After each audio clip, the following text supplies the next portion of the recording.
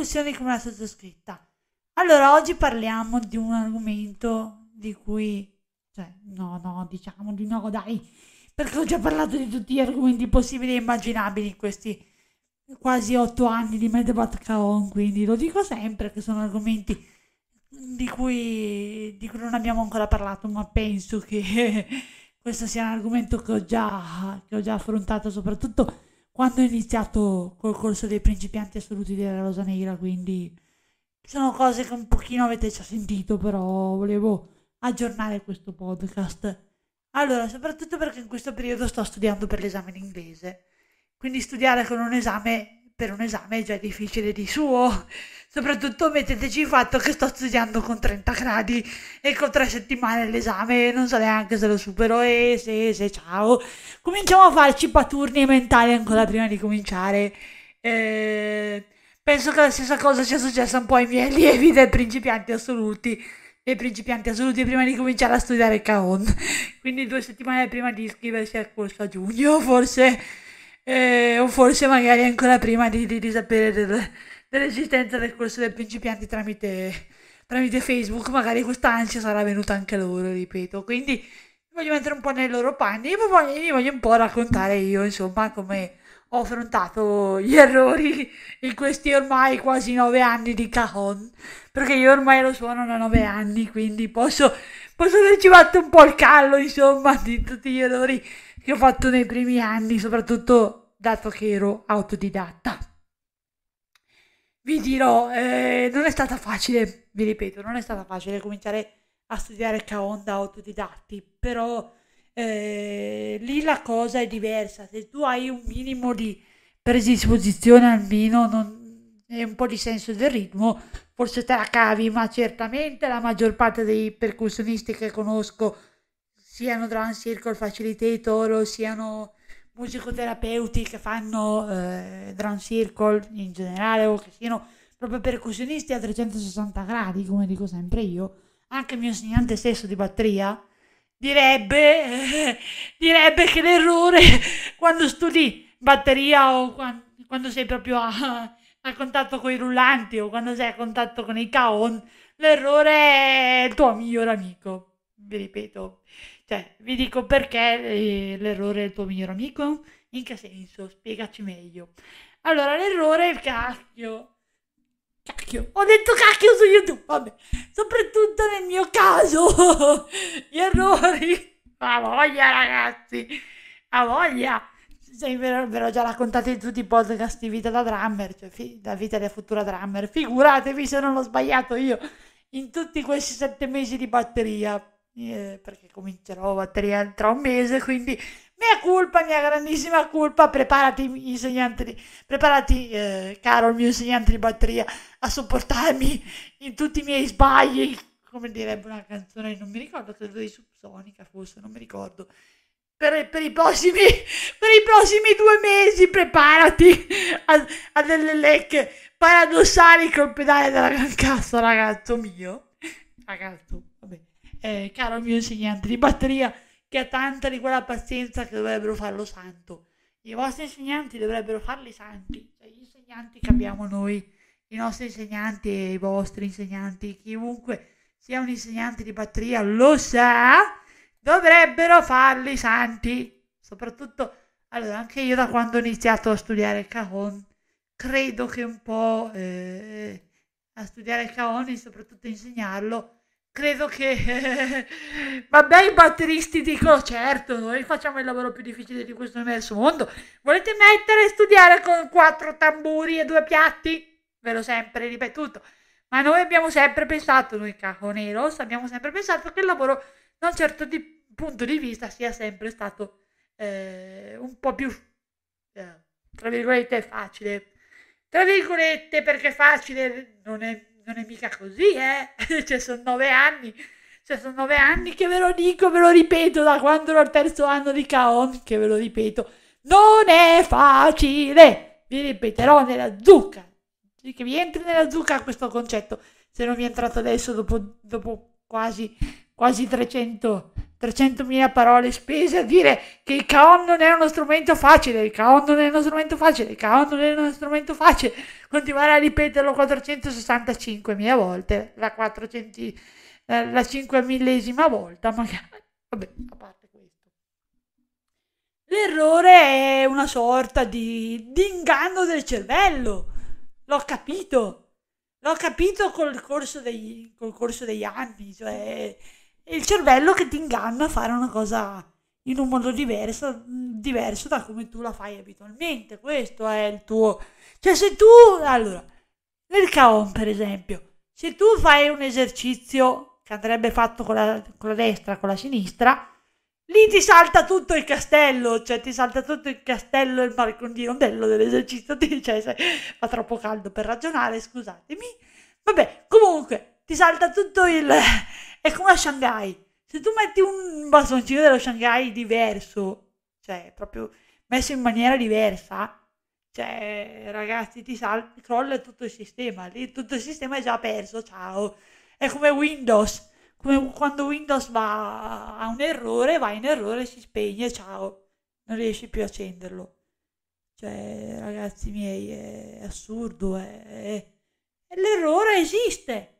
Pensate che bello se vivessimo in un mondo fatato per sognare come quello di Alice in Wonderland, che non avremmo errori. Cioè, se non ci fossero gli errori, non ci sarebbero manuali pieni di esercizi di cajon, parlando dei camisa, o manuali pieni di esercizi di batteria, come il Dante Agostini. Il Dante Agostini saranno...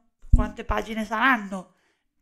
Prendiamo l'esempio del primo libro del Dante Agostini L'Agostini sono eh, più o meno solo la prima, eh, solo il primo, il primo libro del, del, del libro di, del, degli esercizi è più o meno composto da eh, più o meno saranno 300 pagine più o meno occhio e croce eh. ah 112 pagine il primo metodo solo il primo è Solo sto, stiamo parlando del primo, stiamo parlando del primo metodo di, di, di, del, metodo, del, metodo di batteria di, di, Agostini. Siamo al primo metodo e eh, siamo a 112 pagine. Gli altri due, cioè anche gli altri due penso che abbiano più o meno lo stesso numero di pagine. E io col mio insegnante sto facendo, credo, il preparatorio o il primo livello, non lo so, non ne ho la minima idea. Comunque, perché ancora nel mondo dei trami non ne so tantissimo credo che sia il, livello, il primo livello con qualche esercizio del preparatorio, non, non lo so, questo compete più agli insegnanti che a me. Comunque, allora ragazzi miei, è ovvio che se voi siete davanti a un esercizio insormontabile, lì comincia tutta una serie di cose nel cervello che non stiamo lì a spiegarci, cioè parte la frustrazione, parte la rabbia, parte oh, no, io non, sto, non studierò mai più cajon in vita mia. No, io batteria non la studierò mai più in vita mia. Cioè, allora ragazzi, eh, prendiamo un esempio di quello che sto facendo in questi giorni per farvi capire. Cioè, se io dovessi mollare, mollare il cajon tutte le volte che provo a suonare sto cribbio di un pedale della gran cassa che io lo odio, posso dire, odio il pedale della gran cassa, il pedale della gran cassa lo odio. Se io tutte le volte che sbaglio col pedale della gran cassa dovessi dire non studio più cao, buonanotte, ciao, chiudo baracche e bruttini, non vi faccio più podcast. Uh. Invece, tutti i giorni, io con la mia santa pazienza, mi metto lì e faccio gli esercizi di pedalizzazione col pedale della gran cassa perché so che tutto questo dolore mi sarà utile. No, a parte ciò, so che quando tornerò a batteria tra un mesetto circa, almeno gli esercizi del pedale della gran cassa saprò farli, anche se non saprò fare quelli del rullante o quelli dei, to- dei tom. Almeno pedalizzare almeno una cosa in tutto il mare magnum di cose che c'è da imparare nella batteria, almeno una la saprò fare. Cioè, considerate il fatto che io ho iniziato a studiare batteria sei o sette mesi fa, partendo da otto anni di cajon. Cioè, ragazzi, i primi giorni, cioè, Dio mio Dio, ho detto no, voglio fare solo cajon. No, non mi piace la batteria. Al mio insegnante di batteria io det- le ho detto un giorno ridendo, io ho detto ma io, a me la batteria non piace. E lui mi, mi ha guardato e mi ha chiesto, ma allora perché la studi? la studio comunque perché eh, a un certo punto della mia vita, quando diventerò davvero una drummer in una band, lì sarà, passatemi il termine, figo.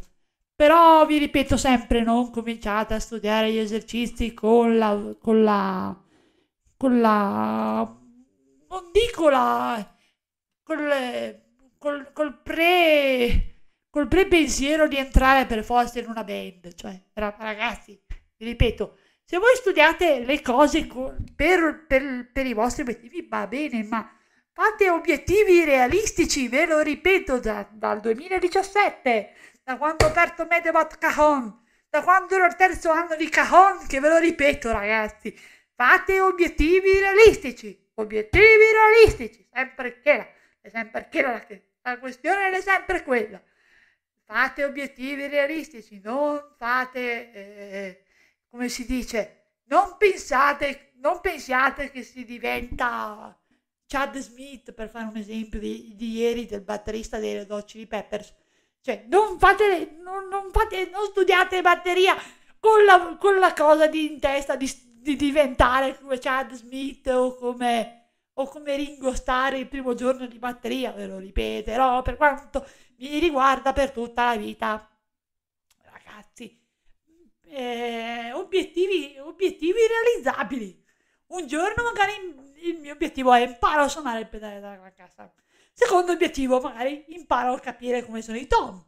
Terzo obiettivo, impariamo a suonare gran cassa, tom e charleston. Cioè, io ci ho imparato, imparato, ci ho imparato, ho imparato, cioè, qualcosa lo, gli esercizi dei quattro tamburi li ho iniziati a maggio, maggio 2024, due mesi fa, due o tre mesi fa. Dopo un po' di lavoro arduo anche col cajon, perché voi avete pe- pensate che gli esercizi della batteria non c'entrino un fico secco. Ma se voi fate gli esercizi col cajon, vedrete che quando arriverete a batteria sarete anche molto più avvantaggiati i cajunisti sono avvantaggiati rispetto ai drummer. Qua la vedo un po' strana e mi, eh, mi smetteranno il barco con le bacchette in mano i drummer, lo so, ma posso spiegarvi perché? Allora, il mio insegnante di batteria mi ha sempre ripetuto, vita naturale, vita naturale durante. In questi sette mesi di batteria mi ha sempre ripetuto, voi che suonate il cajon siete più avvantaggiati perché avete già tutto il discorso del, della struttura ritmica la sapete già, non devo spiegarvi niente da capo. A me, infatti, il mio insegnante di batteria non mi ha, cioè, mi ha dato, mi ha dato i, primi, i primi concetti di teoria musicale, ma più o meno li sapevo già perché comunque. No, non è presunzione la mia, davvero da piccola avevo fatto propedeutica musicale.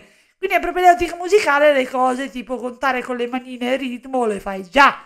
Cioè, a parte che sono passati 26 anni quasi, 26-27 anni però comunque ho sempre fatto danza, quindi da questo punto di vista sono sempre stata avvantaggiata. Ok, quindi eh, quando si studia batteria, essere un cajonero, essere una, un, un, un, una persona che, che, suona il cajon, è qualcosa di, di, di, vantaggioso. Io pensavo, no, non mi aiuterà mai a suonare il cajon. Cajon e batteria sono due cose completamente diverse. No, Scherzi, no, eh, scherzi, caro, caro il mio insegnante di batteria, no, per me non è così. Cioè, dicevo le prime volte, no, eh, per me è più difficile suonare la batteria. Ah, io preferisco molte di più, molte più volte il cajon. Cioè, no, per carità di... Cioè, per carità, ti siedi sul cajon e fai, le, fai, le, fai i ritmi, li fai. Cioè, la batteria invece è 4.000 cose da ricordare pedale della Gran Cassa, pedale del Charleston, i Tom, è tutta la questione che non stiamo qua a spiegare proprio già spiegata. Ragazzi, io, io, davvero pensavo, cioè all'inizio davvero pensavo no, il cajone è più facile della batteria, uh, a voglia. Invece poi, man mano andando avanti, mi sono accorta che il mondo del drumming il mondo della batteria mi, mi appassionava anche al di là di quello che sapevo veramente fare, cioè veramente ho cominciato a parlare di drumming, ho, ho cominciato a parlare di, di corde, cordiere, eh, ho cominciato a parlare di pedali.